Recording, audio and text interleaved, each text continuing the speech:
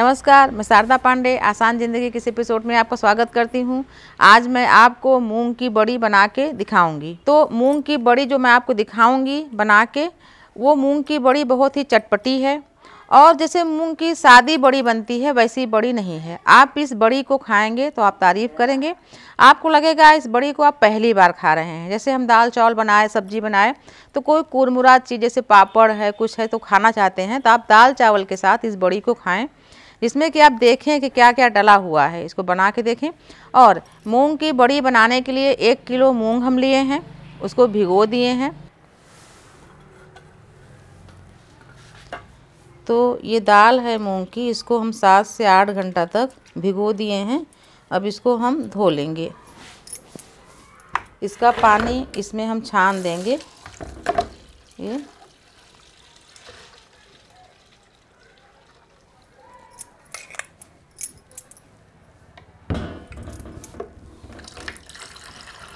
फिर इसको हम इसमें डाल देंगे।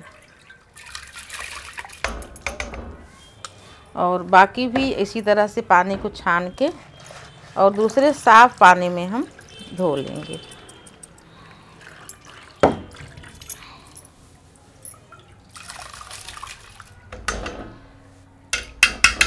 अब इसको थोड़ा सा हाथ से ऐसे जैसे हम चावल बनाने के लिए धोते हैं, वैसे धो लेंगे। कुछ इसमें जो इसका पाउडर रहता है, निकल जाएगा। ये, और फिर हम इसको, इसका पानी पहले ऊपर वाला भाग निकाल देंगे।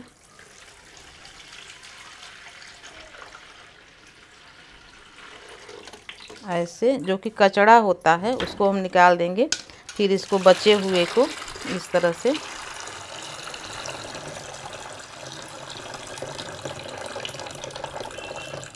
पूरा छान देंगे। ये ये छन गया। फिर हम इसको वापस डाल देंगे इसमें।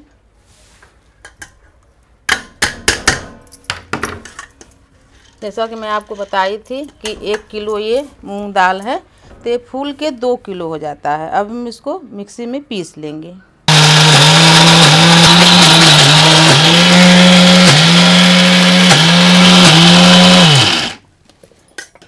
तो एक बार हम मिक्सी को बंद करके इसको चला देंगे अच्छी तरीके से, क्योंकि किनारे किनारे में दाल रहता है, जो कि पीसी नहीं रहती। फिर दोबारा हम इसको पीसेंगे।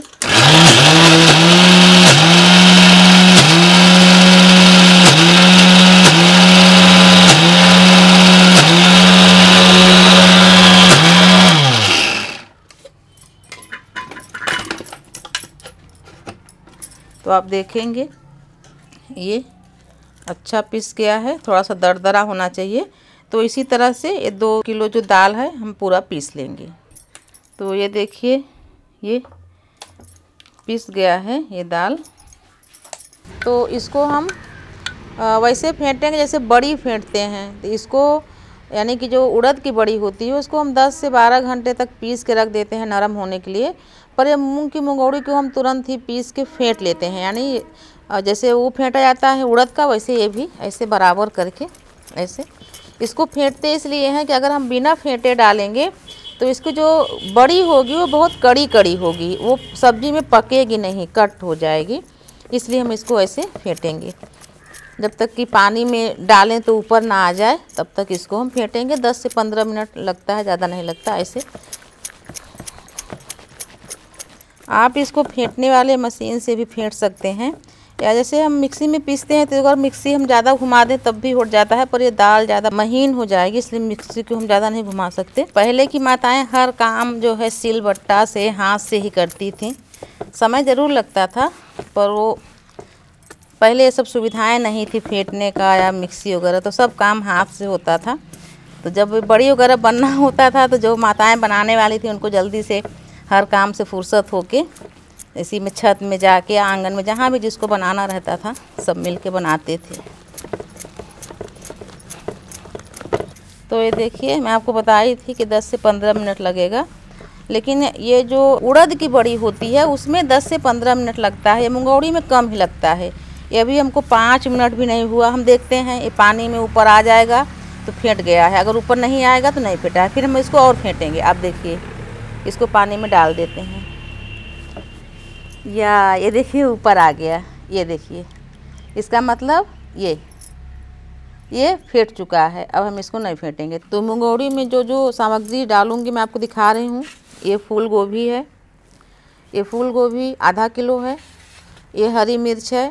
कभी भी जैसे मैं आपको बताती हूँ, अचारों में तो आप हरी मिर्च नहीं डालते, जो कि रखना होता है, सूखा मिर्च डालना पड़ता है। लेकिन बड़ी में हमेशा हरी मिर्च पड़ती है। लाल मिर्च पाउडर या लाल मिर्च खुद भी कूट के नहीं डालना चाहिए।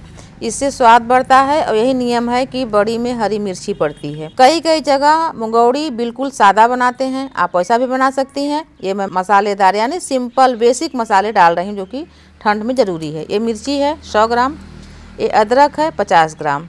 और मैं आपको दिखाऊँगी, ये हींग है और ये विशेष चीज़ है, ये है जायफल पाउडर, जो कि आप आप सर्च करोगे आसान ज़िंदगी में, बड़ी बनाना बताई हूँ उड़द का, उसमें भी मैं जायफल जायफल होता है जैसे सुपारी होती है मीडियम साइज़ की, वैसे जायफल होता है, जो कि ठंड में काफ़ी फ़ायदेमंद होता है, इसको बच्चों को भी घिस के पिलाते हैं ठंड में। इसका पेस्ट निकलता है, फिर बच्चों को सुबह माताएँ पिलाती हैं ठंड से बचने के लिए। आप इसको सूंघोगे बहुत ही, इतना सुंदर इसका सुगंध होता है तो हम कोई मसाला नहीं डाल रहे हैं, ये डाल रहे हैं। ये है जायफल पाउडर ठंड से बचाने के लिए। आप इसको ज़रूर डालें। फिर मैं आपको दिखाऊँगी, ये है जीरा। जीरा का मैं पाउडर नहीं बनाई हूँ, ना तो इसको पीसूँगी, इसको मैं भिगा दी हूँ, ये।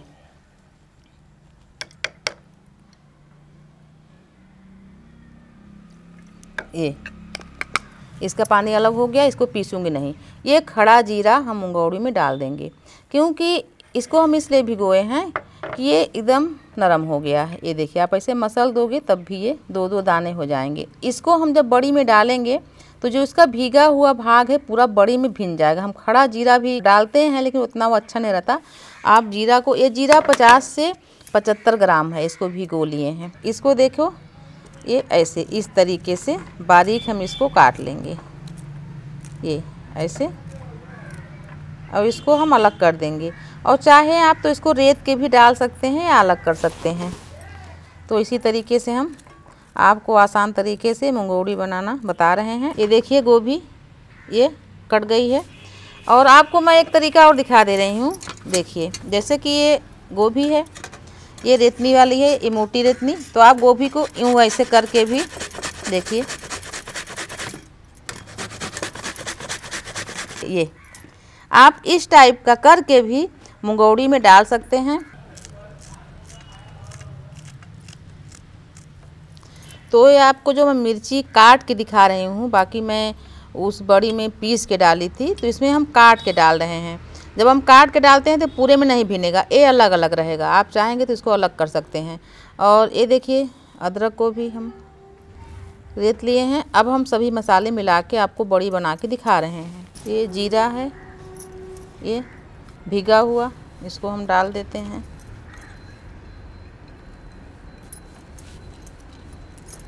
ये हरी मिर्च है, इसको डाल दिए। ये अदरक है, अदरक भी डाल दिए और ये गोभी है।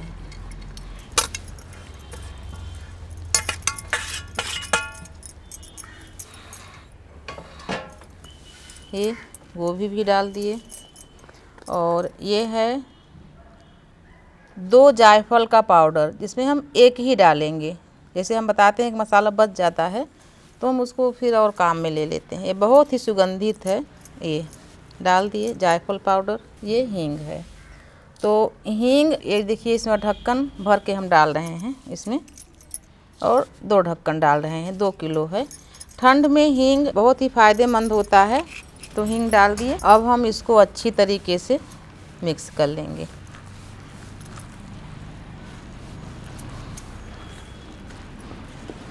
क्योंकि हम इसको पहले फेंट चुके हैं तो ज़्यादा हमको फेंटने की ज़रूरत नहीं है। सिर्फ़ इसको हम मिक्स करेंगे और फिर हम इसको तेज़ धूप में मुंगौड़ी सूखने के लिए रखते हैं। लेकिन हम जब मुंगौड़ी खोटते हैं तो या तखत है, चारपाई है तो हम उसको धूप में इसलिए नहीं करते कि सिर में धूप लगता है।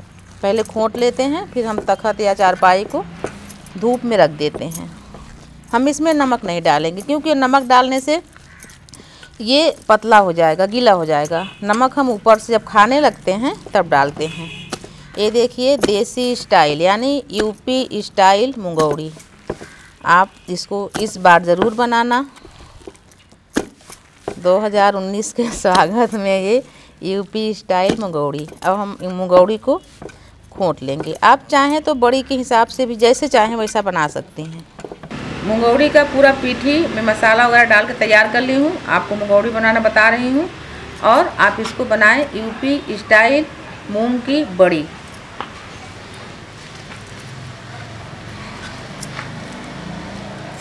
ये देखिए, क्योंकि वो जो उड़द की बड़ी होती है, वो कुछ वो लिसलिसा होता है, लेकिन ये दरदरा होता है।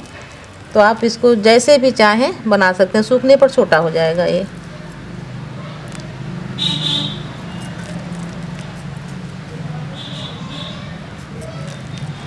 ऐसे हम इसको पूरी बड़ी को बना लेंगे।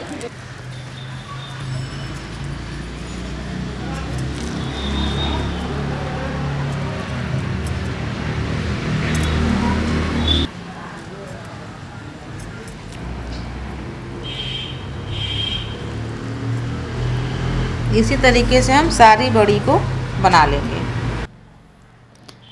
तो ये बड़ी मैं बना ली हूँ मुंगौड़ी मूंग की तो इसको हम अभी धूप में कर देंगे। और इसको हम कम से कम पाँच से सात दिन तक अच्छी तरह से सुखा लेंगे। और अगर आप इसको डिब्बे में भर के रखना चाहते हैं तो थोड़ा और धूप दिखा दें, क्योंकि ये ठंड का समय है तो थोड़ा धूप ज़्यादा दिखा रहेगा तो मुंगौड़ी ख़राब नहीं होगी। तो ये बड़ी, कई हमारी बहनें जो नई हैं, जो बच्चे हैं, वो पूछते हैं ठीक है, आपने बड़ी बना के दिखाया है, यानी जो मैं पिछले साल डाली थी एपिसोड उसमें बोल रहे थे। लेकिन ये होता क्या है? इसका क्या करते हैं? पूछते थे तो मैं उनको बताती थी, शायद इसके पहले वो बड़ी नहीं खाए होंगे, कि बड़ी को सब्ज़ी में डाल के बनाते हैं, विशेषकर इस बड़ी को, जो मुंगौड़ी होती है, इसको सब्ज़ी में ही पका के खाते हैं। जैसे आलू की सब्ज़ियाँ हैं गर्मी में कोई सब्ज़ी नहीं है तो आप इसको भून के और आलू की सब्ज़ी के साथ इसको बना सकते हैं, क्योंकि इसको आप जैसे ऐसे ही भून के खाएँगे तो काफ़ी कड़ा रहता है ये। और वो जो उड़द की होती है, उसको ऐसे भी खा सकते हैं। तो जैसे कि इस टाइप का ये डिब्बा है, इसको हम अच्छी तरह सुखा लिए हैं। तो इस डिब्बे में ऐसे इसको भर देंगे। तो ये ख़राब होता नहीं है, अच्छी तरह से हम सुखा के इसको रखें। गोभी डाल के हम बनाए हैं इसको। और आलू की सब्ज़ी में आप इसको डाल के बनाएँ। बहुत ही स्वादिष्ट सब्ज़ी बनती है।